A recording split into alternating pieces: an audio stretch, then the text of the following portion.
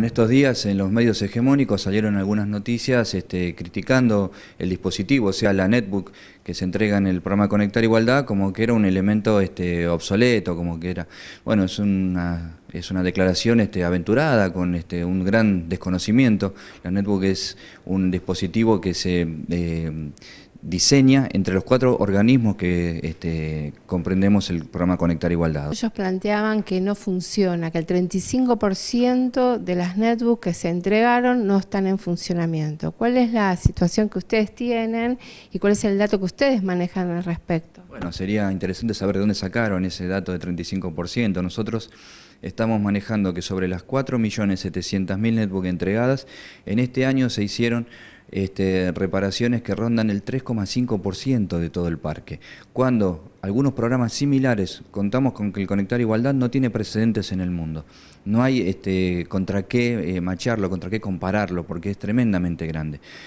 Eh, y los programas que son más chicos que el Conectar Igualdad manejan un 7%. Las declaraciones del diario La Nación eh, se deja entrever que el programa Conectar Igualdad eh, no, se hace cargo de la capacitación y de la formación de los docentes y la verdad es que es una declaración que, evidencia un profundo desconocimiento acerca de las características del programa.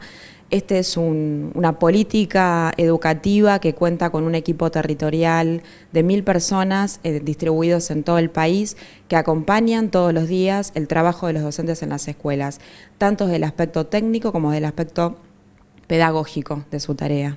El 15 de diciembre la, presidenta de la Nación anunció el cumplimiento del decreto y de la meta de universalizar la entrega de, de netbooks en nuestro sistema educativo. Las acciones de acompañamiento a la tarea docente son variadas, desde el programa como decía inicialmente, hay un equipo que acompaña esa tarea, que discute las planificaciones de los docentes para pensar cómo se integran las nuevas tecnologías en ese marco. Y además en, estos últimos 10 años, en el marco de la ley 26.206 de Educación Nacional, se definieron acciones de fortalecimiento de la enseñanza para mejorar y renovar las prácticas docentes.